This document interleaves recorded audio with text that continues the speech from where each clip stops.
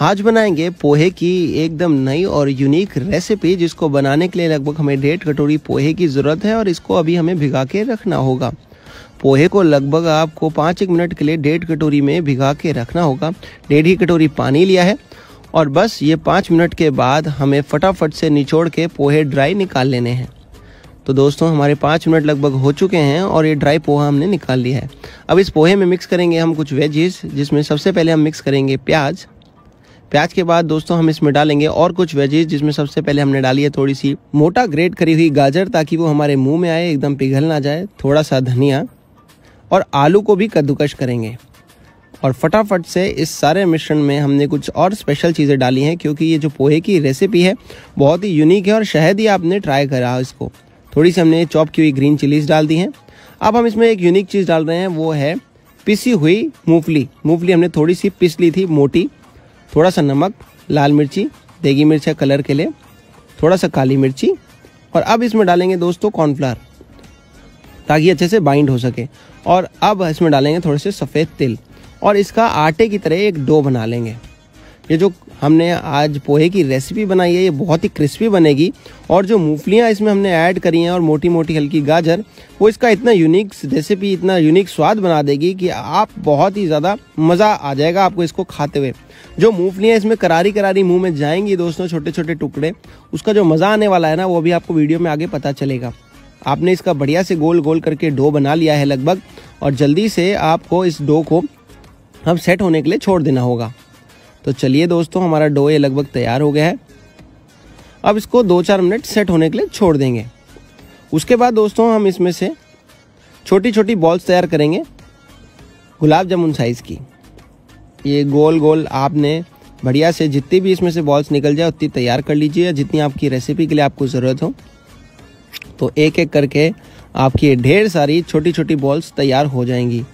ये जो पोहे का नाश्ता है दोस्तों, ये एकदम ही यूनिक है क्योंकि आपको एंड में पता चलेगा कि ऐसे तो कभी हमने पोहे के साथ किया ही नहीं था। तो हमारी ढेर सारी बॉल्स तैयार हो गई हैं। और अब हम इन बॉल्स को तलेंगे। बॉल्स को मैंने पाँच एक मिनट रेफ्रिजरेट भी कर लिया था ताकि थोड़ी सेट हो जाए और तलते वक्त खुल ना जाए। तो हमने ऑयल लिया है और ऑयल हमारा गर्म हो चुका है। फटाफट से अब मैं इसको अंदर डाल दूँगा।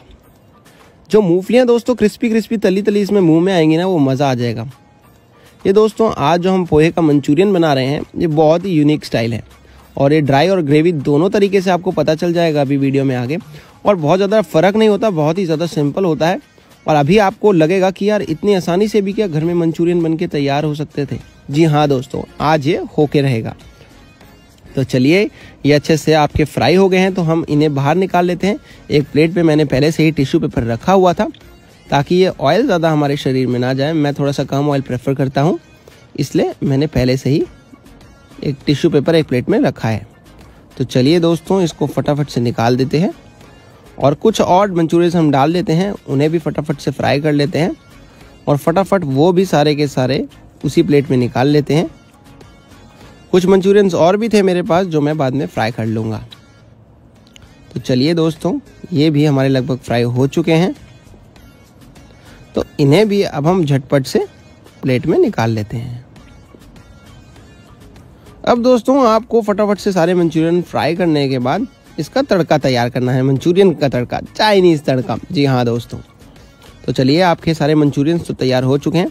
तड़का लगाने के लिए उसी कढ़ाई में हम ऑयल को थोड़ा कम कर लेते हैं और ये बाकी मंचूरियन हमारे तल गए। तो उसी कढ़ाई में हमने थोड़ा ऑयल कम करा है। और उसके बाद हमने दोस्तों इसमें डाला है थोड़ा सा गार्लिक, क्योंकि चाइनीज़ चीज़ों में गार्लिक और जिंजर दबा के पड़ता है। तो चॉप किया हुआ जिंजर और गार्लिक दोनों अच्छे से हमने डाले हैं। साथ ही में अब हम इसमें डालेंगे थोड़ी सी ग्रीन चिलीज़। हल्का सा सॉटे होने देंगे। ये जब कच्चा कच्चा चाइनीज़ चीज़ों में डालता है, बहुत ही अच्छा फ्लेवर देता है। अब हमने लंबे लंबे प्याज काट के रखे थे। और थोड़ी सी अब इसके बाद इसमें डाल देंगे लंबी लंबी कैप्सिकम। बहुत ही ऑथेंटिक एकदम रियल मंचूरियन फ्लेवर आने वाला है घर में एकदम चाइनीज़ क्योंकि जो इसमें हम आगे की चीज़ें इस्तेमाल करने वाले हैं, वो भी एकदम चाइनीज़ बढ़िया रेसिपी के लिए मज़ा दिला देंगी। तो चलिए दोस्तों, इसको हल्का सा पकने देते हैं, ज़्यादा नहीं पकने देना, वहीं एक कटोरी में थोड़ा सा कॉर्नफ्लावर ले लेते हैं इसकी ग्रेवी के लिए।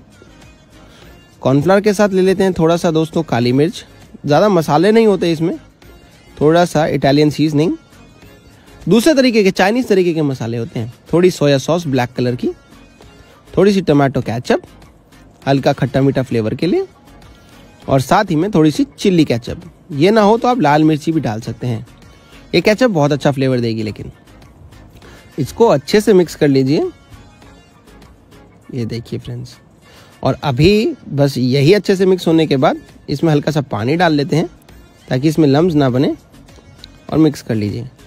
अब अगर दोस्तों आपको ग्रेवी नहीं चाहिए तो मंचूरियन के तड़के में सिर्फ़ ही डाल देंगे। तो चलिए दोस्तों, सबसे पहले तो अभी हमने क्या करना है? अभी हमने इसमें थोड़े से चीज़ें और डाली हैं, जैसे कि टमाटर और हल्के स्पाइसेस तो चलिए सबसे पहले डालते हैं टमाटर, वो भी लंबे लंबे चॉप किए रखे हैं। और स्पाइसेस में अब हम इसमें डालेंगे। सबसे पहले हमने दोस्तों इसमें डालना है नमक और इसको पकाएँगे। तो चलिए फ्रेंड्स वेट कर लेते हैं, थोड़ा सा घूम जाए और उसके बाद थोड़ा सा नमक डाल दिया।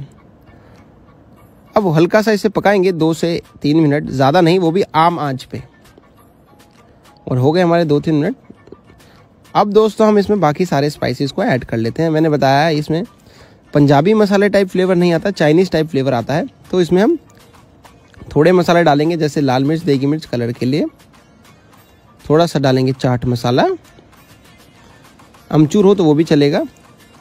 और थोड़ा सा मैंने पाव भाजी मसाला इसमें डाला है। आप चाहें तो उसकी जगह गर्म मसाला या कोई भी और चीज़ डाल सकते हैं जो आपको पसंद हो।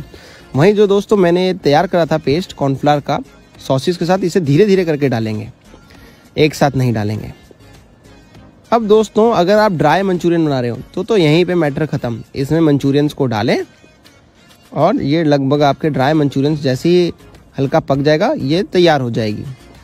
लेकिन अगर आप ग्रेवी वाले बना रहे हैं तो इसमें अभी पानी और जाएगा। ये देखिए ड्राई मंचूरियंस तो लगभग हमारे तैयार हो चुके हैं। ये अभी हल्का सा और भी ड्राई कर सकते थे, लेकिन हमने ग्रेवी रखनी थी, इसलिए हम ग्रेवी ही बना रहे हैं तो उसी स्टाइल से बनाया है।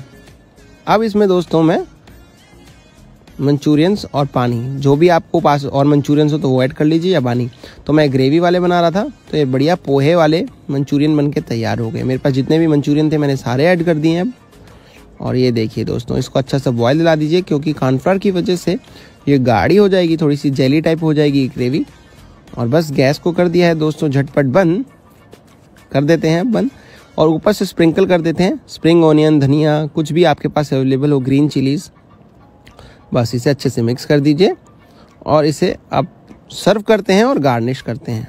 बहुत ही बढ़िया। पोहे की ये यूनिक रेसिपी मंचूरियन बन के घर पे तैयार हो गए हैं, आसान तरीके से। और एक खाने में इतने यमिलीशियस हैं। एक बार खाएँगे, आपको बार बार इन्हें बनाने का मन करेगा। तो कैसे लगे दोस्तों, आपको पोहे के ज़बरदस्त मंचूरियन ज़रूर कमेंट करके बताइएगा।